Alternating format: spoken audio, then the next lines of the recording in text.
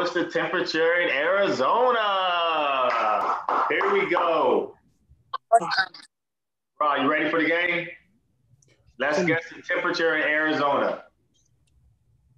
I'm saying like a hundred. I'm saying 10 102.3. That's a that's a weirdly specific guess. I mean, Yes, yes, birthday boy. I mean, well, what are we talking? Are we like what it feels like or what it is? What it is? She what what it says on her iPhone. So actually, It's so 104. Hold up, hold up, hold up. Let me say, let me say this. Um, one hundred point like point like six. I don't know, one hundred point six. Since we're being You specific. know, mine mine was all right. Croc, Well, you started it. I followed it up. I had to be specific. Croc, you got to guess what's the temperature in Arizona? Outside of Phoenix. Uh, can, can you hear me? yup. Now I'd probably say 102 degrees. I said 0.3. Sorry, what is it, Alex? so Aisha was the closest. It's actually pretty cool today. It is 99 degrees. Yay! Uh, Uh, Check back with me next week and it'll be 117.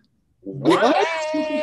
oh Hey, you no! was supposed to tell us so we could guess again. That's crazy.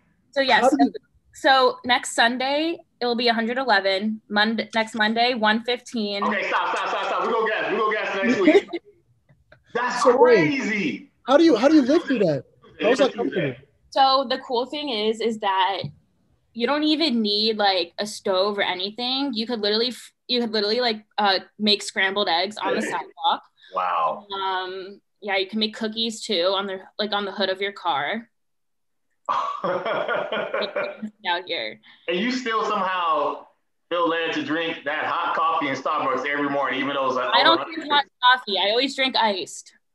Oh, I didn't know that. I learned something new. Always iced. Always iced. That Even makes when it gets to like 30 degrees here, iced coffee. Always. I think I Aisha looked it up. That's how she got close. Yeah, she be cheating. Yeah, I don't know what she do.